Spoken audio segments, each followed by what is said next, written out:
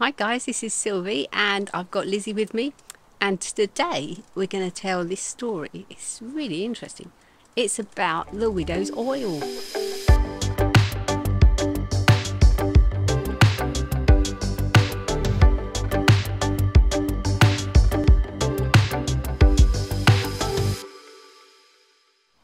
Now this happened...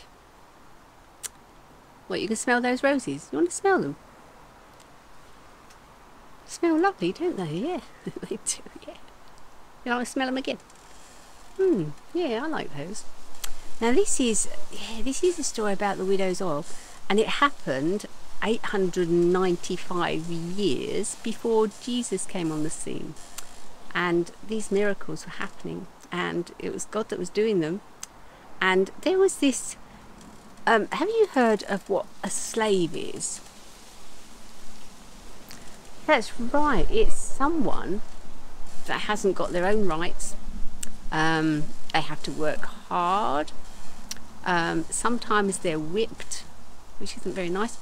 Um, they don't they have to get up when they're supposed to, very early in the morning, maybe, maybe go to bed really late at night, have just basic food that's not terribly nice, just enough to keep them ticking over so that they can do the work.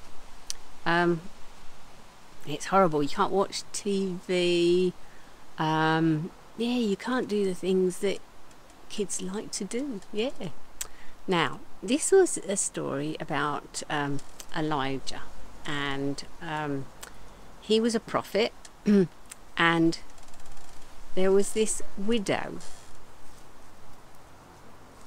What is a widow? Um, now, a widow is someone that's lost their husband, not lost them, lost them, lost them, their husbands died. And a widower is a gentleman that's lost his wife. Now, this um, lady, we don't know her name, but she, her husband had died, and he he belonged to um, Elijah's group of friends, and they were all prophets, which means they listened to God and um, yeah, they, that's that was what they did, and they loved God. And uh, her husband had died, and she her she she went to Elijah, and she said to him, Elijah, um, my you know my husband was in your company of people, and she said he's died. Um, and he, you know, he revered the Lord, the Lord God, Almighty. Um, and um, what's happening is that he owed a lot of money. And now the debtors, that's the, the people that are coming to her, want to take my two sons as slaves because I can't pay the money, I can't pay the debt. And, she, and he, she said, What can I do? Was he there to help her? Well, he didn't know what to do, but he said to her, um, he said, how can I help? And then he thought to himself, um, have you got anything in your house? And she said, well, I haven't got anything except a little bit of oil. Now this is olive oil for cooking and it was um, really precious.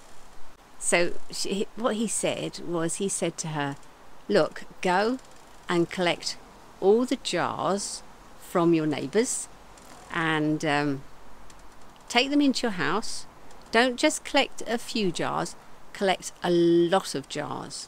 So the two sons and her went to the neighbours and collected all these jars. And then he said, go into your house and start pouring the little bit of oil that you have into your jars. Well, she only had a little bit of oil, but he said start pouring it into your jars, which she did. And she kept pouring and pouring, and she'd say to her son, Oh, give me another jar. And it just kept pouring and pouring, and she kept pouring and pouring.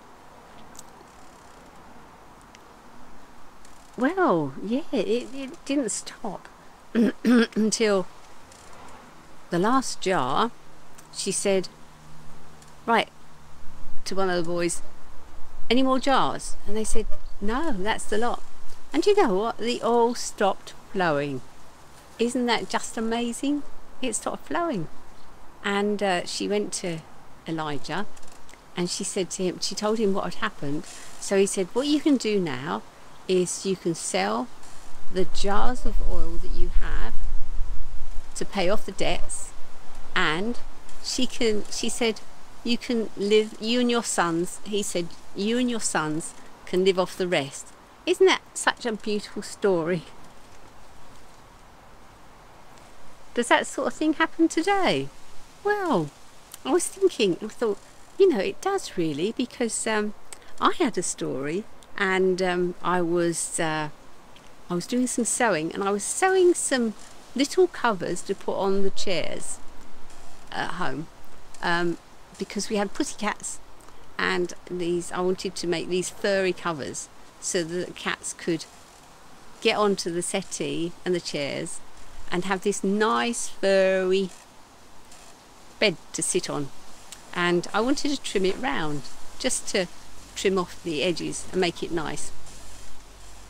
And I went to this shop quite a long way away and got the the trimming to go around the edge. And when I measured it when I got home I thought uh, the my maths I thought I haven't got enough. I know I haven't got enough. And uh, thought right I'm not going to measure what I've got. Because I saw the lady in the shop measure it up and she measured it to what I asked for and I just kept sewing and sewing and you know I had enough I just asked God to multiply it and I had enough. Isn't that just amazing? And uh, I just thank God for that. That was just awesome for me. So God still works all these lovely miracles if we ask Him and trust Him. I will say a prayer. Heavenly Father, we just thank you, Lord, that you are the controller of the universe and yet you are just so interested in all the little bits and pieces in our life. We just thank you for that story about the widow's oil. And we just ask you to help us to trust you in our lives with the little things that we need. Amen. That was a really good story. Yeah, really good.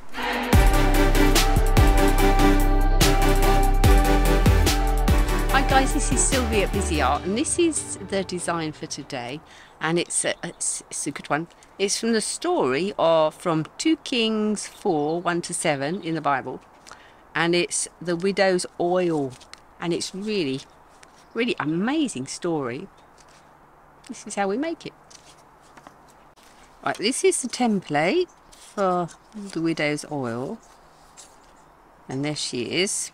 So I'll put that one there for a minute template you can access on the website. so I've got that one there to show you. Um, now I've just finished cutting this out because I've done it, I've cut it out inside the black line so you don't, don't want the black line really. And then, yeah, fold it over in the centre on the dotted line. Fold it over again to make it flexible. Now, and then I cut the triangle part just on the solid line. and then on the dotted line, I folded it. Fold it this way and that way. And then, oopsie daisy. and then fold it out just to make sure that it's um, going to behave. Oh, let's finish cutting this one out. I've done this one, cut this one out just inside the black line. So I've put some, how do I do this one? I'll just turn it around my way because I'm a bit lost doing upside down. Right, so that will go there. Should be pouring the oil. Well, that's it. I've got that in the right place. Hmm. Got the double-sided sticky tape. A bit low. So I suggest to you to put it just a bit higher. And then stick that down there. So I'm matching up the hand. Oops. Matching up the hand uh, with this line, the fold line. and it seems to work. And there it is.